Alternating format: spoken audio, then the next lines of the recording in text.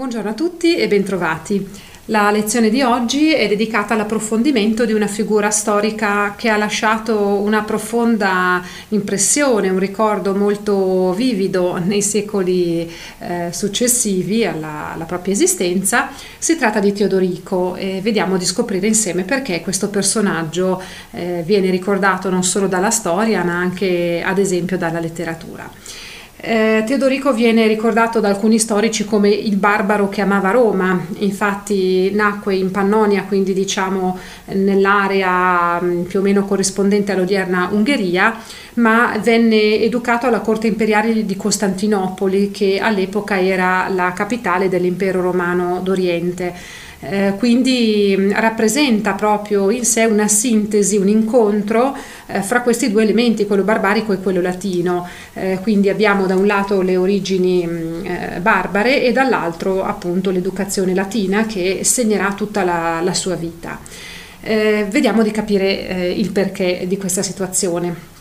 Allora, cominciamo a, a fare un breve accenno sul suo popolo di origine, di appartenenza che era eh, il popolo degli Ostrogoti. Eh, erano detti anche Goti orientali e eh, provenivano mh, da una regione corrispondente all'attuale Ucraina. Eh, attorno appunto alla metà del V secolo si erano stanziati in Pannonia, da dove erano partiti, da dove partivano abitualmente per, per scorribande, insomma, per queste ripetute incursioni nei territori eh, dell'impero d'Oriente. Eh, questo fece sì che l'imperatore Leone I, per cercare di mettere fine a questa situazione incresciosa, eh, decise di riconoscere gli Ostrogoti come federati, quindi eh, di emanare questo provvedimento che li ammetteva all'interno dei confini dei domini imperiali sostanzialmente. Eh, questo patto di alleanza venne sancito in un modo particolare, eh, con un gesto fortemente simbolico e molto carico eh, di significato. Eh, Teodorico, che era figlio del re degli Ostrogoti, venne consegnato come ostaggio all'imperatore d'Oriente. Quindi eh, questo mm, ragazzino insomma, viene accolto alla corte di Costantinopoli e viene educato ovviamente secondo quelle che erano le abitudini e la cultura romana dell'impero romano d'Oriente appunto. Eh, Teodorico diviene poi in seguito re degli Ostrogoti, quindi riceve dal nuovo imperatore Zenone il compito di invadere e conquistare l'Italia, perché bisogna ricordare che eh, a quest'epoca l'Italia non faceva più parte dell'impero, quindi nel 476 era stato deposto Romolo Augusto eh, dal generale germanico Odoacre e quindi quando nel 488 gli ostrogoti di Teodorico si dirigono verso l'Italia, appunto l'Italia ufficialmente non fa più parte dell'impero. Eh, dopo cinque anni di guerra sconfiggono Odoacre, che viene ucciso Ravenna insieme a, a, tutti i componenti della sua famiglia, e quindi eh, Teodorico si insedia appunto eh, in quest'area eh, in modo ufficiale, quindi in veste di rappresentante di Costantinopoli. Eh, Teodorico viene proclamato re dal suo popolo subito dopo aver eh, eliminato Odoacre nel 493 e eh, riesce ad avere una mm, diciamo, ulteriore ratifica del proprio eh, potere grazie al riconoscimento ufficiale da parte del nuovo imperatore d'Oriente, eh, Anastasio, del titolo di re dei Romani e eh, degli Ostrogoti in Italia, quindi viene riconosciuto a Teodorico questo titolo. Quindi abbiamo veramente una, persona, una personalità particolare, quindi eh, si trattava sostanzialmente di un sovrano di origine barbarica, ostrogota appunto, che però aveva ricevuto un'educazione eh, latina mh, nella, presso la corte di Costantinopoli e che era eh, a capo non solo del proprio popolo ma anche della popolazione eh, romana grazie ad una autorizzazione esplicita ricevuta niente meno che dall'autorità imperiale di Costantinopoli. Ecco, tutte queste caratteristiche messe insieme in una persona sola eh, fanno sì che eh, almeno nella, nella, prima parte del suo regno vi fosse una, ehm, una, certa stabilità in Italia, quindi tutte queste caratteristiche eh, garantivano eh, il consenso a questa persona proprio da più parti. Ecco, Teodorico eh, fra l'altro teneva molto a questa sua veste, cioè dopo aver conquistato l'Italia cerca, cercava proprio di presentarsi alla popolazione latina, eh, di cui cercava con, continuamente insomma, l'appoggio, l'approvazione, proprio come un sovrano romano, eh, tanto che assunse un nome latino, Flavius eh, Theodoricus Rex, fece coniare anche delle immagini con, con la propria effigie, delle monete con, con la propria effigie, eh, organizzò spettacoli nel, nel circo, quindi cercò comunque comunque di ripercorrere, ricalcare quelle che erano le tradizioni latine, eh, quindi finanziando anche la costruzione di edifici pubblici, opere di bonifica delle zone paludose e così via.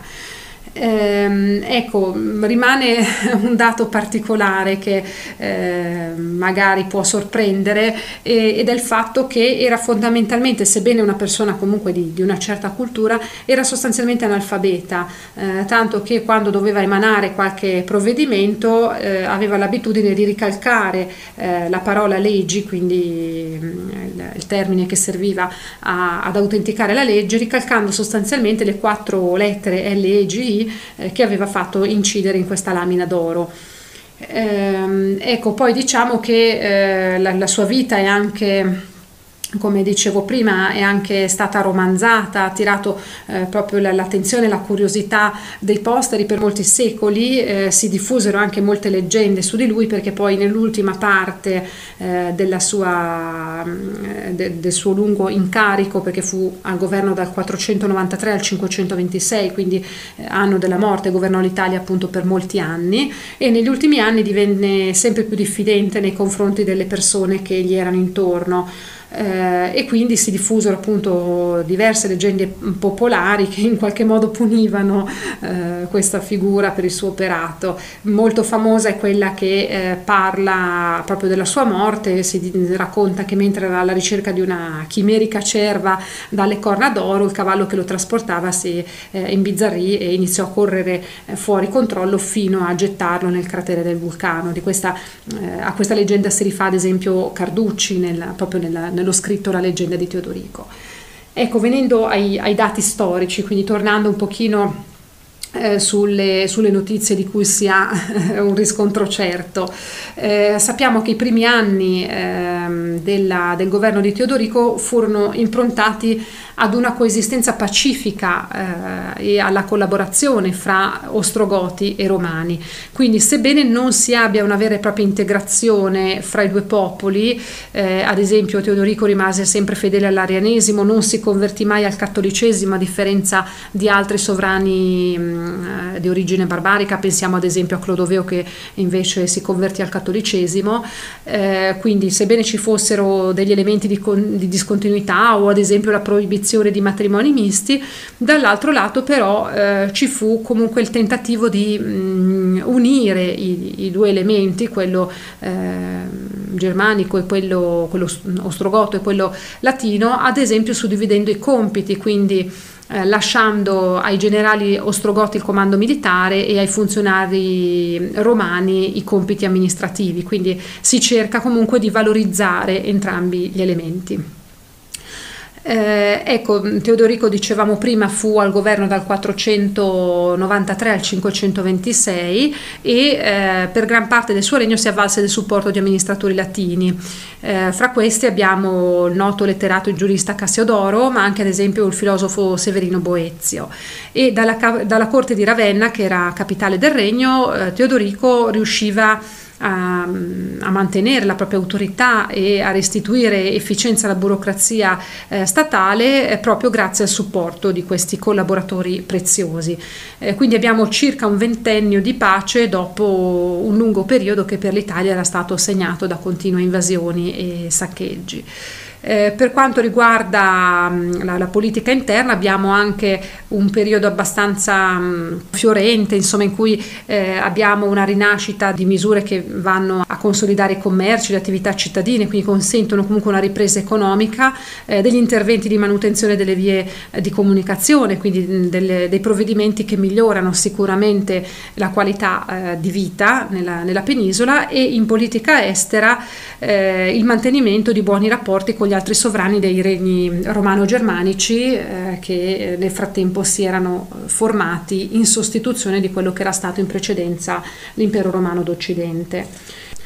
Ecco, negli ultimi anni del regno di Teodorico, come accennavo prima, iniziano tuttavia a deteriorarsi quei delicati equilibri che si erano andati costruendo negli anni precedenti. Quindi eh, innanzitutto cominciano a vacillare i rapporti con l'impero d'Oriente che eh, iniziava ad essere insofferente nei confronti del peso politico di Teodorico e anche mm, contemporaneamente abbiamo l'affermazione in Occidente della figura di Clodoveo, re dei Franchi che si era convertito al cattolicesimo e quindi aveva ottenuto ad esempio l'appoggio della Chiesa.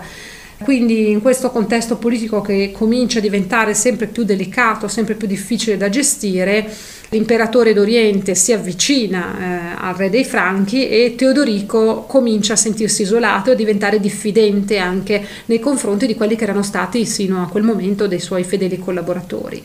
Eh, ragione per cui comincia a mettere in atto una serie di persecuzioni eh, prevalentemente a danni dei cattolici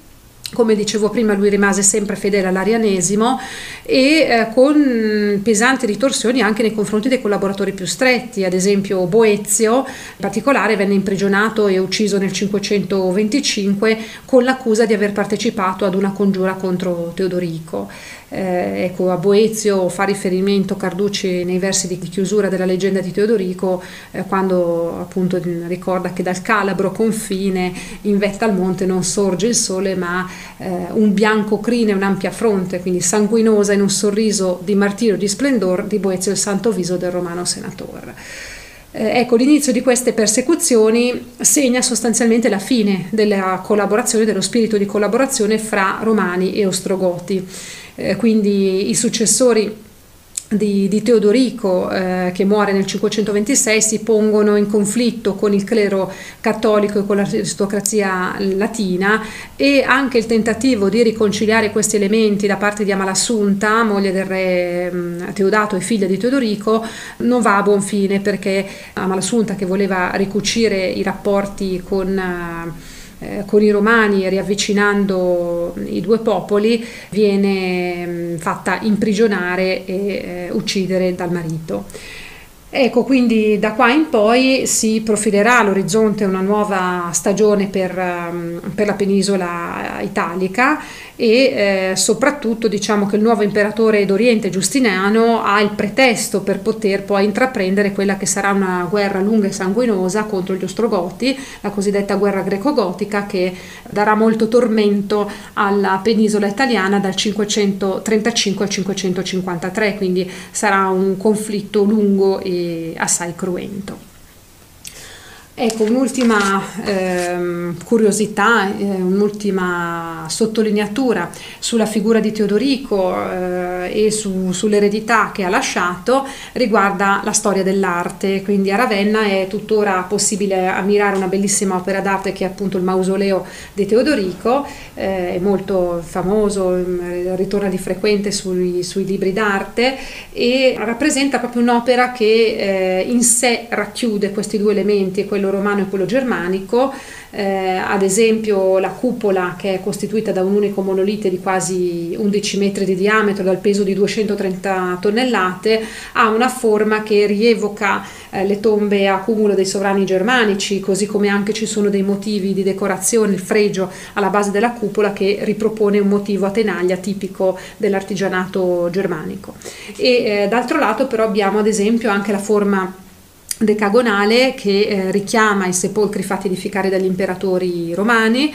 eh, e quindi insomma abbiamo in questo mm, mausoleo che è tuttora visitabile, fra, fra l'altro la cappella interna che originariamente era destinata alle celebrazioni eh, liturgiche conserva la vasca eh, di Porfido in cui presumibilmente venne sepolto Teodorico. Eh, ecco questo mausoleo conserva appunto eh, questi due elementi perfettamente integrati, quindi si tratta di un'opera architettonica sicuramente di grande pregio e ancora perfettamente conservata e, e visitabile. Bene, abbiamo terminato questo breve focus su Teodorico e sulla sua epoca. Vi ringrazio per l'attenzione, vi invito a lasciare un like se avete trovato utile questa lezione e continuate, mi raccomando, a seguire il canale per non perdere i prossimi aggiornamenti. Arrivederci e alla prossima!